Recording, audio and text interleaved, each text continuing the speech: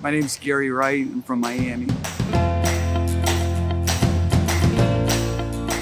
I'm here um, because I'm in ministry. We feed uh, almost 2,000 people twice a month, and we need the funds to do it. It's because of the COVID, we can't do it. So I'm looking to try to uh, fill that bank up a little bit. Mainly, um, it was a biblical-based uh, uh, business, and the other reason was the training. Um, that was that was gold for me. that was gold. Yeah. This company is concerned about their drivers, and if you if you're going to be a professional, it's a lot you can uh, achieve here. It's a lot you know you can go beyond your expectation here.